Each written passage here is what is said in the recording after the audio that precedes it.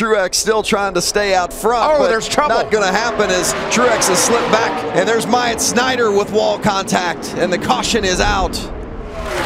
Bottom clear, caution is out. Roll slow here. There was another truck starting up near the front that had some damage, it looked like. Yeah, there was a truck that tried to get in line up in the top five, I think, and couldn't really see which one it was, but that's where this all started. They they got bottled up ahead of Myatt. He probably caught some contact from behind, I'd guess, Phil, and sent him sliding. Yeah, what a tough break for Myatt.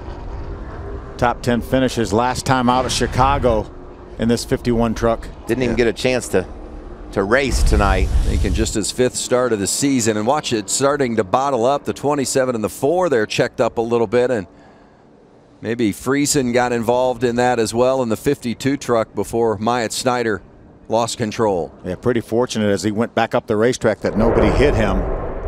There you see right there, that's the smoke I saw. It looked like the Ben Rhodes, ben Rhodes is trying to yeah. move up in front of, was that Bell? It looked like Haley got some damage on the left front corner of that 24 truck. This is from the 13 of Cody Coughlin. Oh, that's Haley. So let's top here. Yeah, it looked like Haley got into the back of the 27 just a little bit. I think the 27 was coming up to close the hole. This is from Noah Gragson's point of view. Ah, what a tough break. You hate to see that. The kid didn't even get a chance to get, get to racing. And you can see right there, Rhodes is moving up, and, and there's a bit of a hole there. Yeah, the 24 of Haley stuck his nose in that hole there. Then Ben Rhodes went up. He sees it, sees there are three wide in front of him.